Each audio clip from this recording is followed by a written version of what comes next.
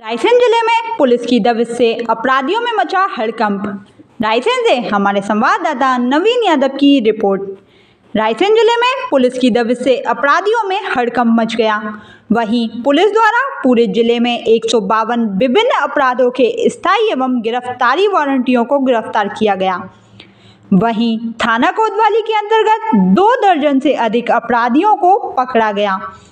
जिससे नगर सहित पूरे जिलों में विभिन्न अपराधों में, लिप्त अपराधियों में हड़कंप मच गया।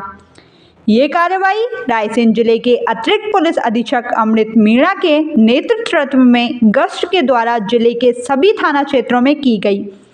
इस कार्रवाई में ज़िले के सभी एसडीओपी थाना प्रभारी सहित 250 पुलिस जवानों ने अहम भूमिका निभाई। रायसेन थाना कोतवाली में रात से सुबह तक शहर के विभिन्न क्षेत्रों से दो दर्जन से भी ज़्यादा अपराधियों को गिरफ़्तार किया, जिन्हें थाना प्रभारी जगदीश सिंह सिद्धू के नेतृत्व में थाना कोतवाली से पूरी सुरक्षा के बीच पुलिस बस द्वारा जिला अस्पताल मेडिकल के लिए भेजा गया। यहाँ से शाम को जिला न्यायालय में पेश किया जाएगा। रायसेन से नवीन यादव की रिपोर्ट